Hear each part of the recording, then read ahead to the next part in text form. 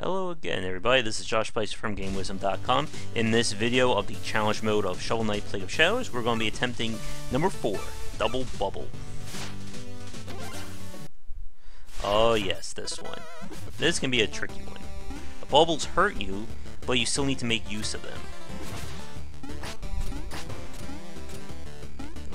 Get rid of that one. Bubbles are going to keep rising up, and you want to do your best to try keep in pace with them. One, two. These guys are great because you can bounce them endlessly. One, two. Now the green guy up there, you can't bounce, so you need to make sure you are ready for him. One, two. Ladder is a bit of a safe spot. That did absolutely nothing. Alright. This is definitely one of the trickier, more platform-intensive challenges in Shovel Knight. Okay.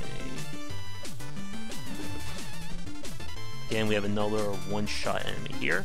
One, two, three. I actually hit the bubbles that were off-screen here, but it still counts.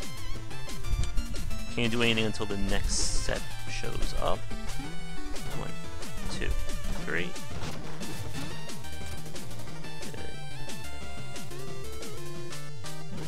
Almost there.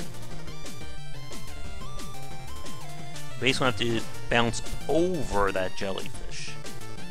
Which means I need to wait for these to be as high up as I can.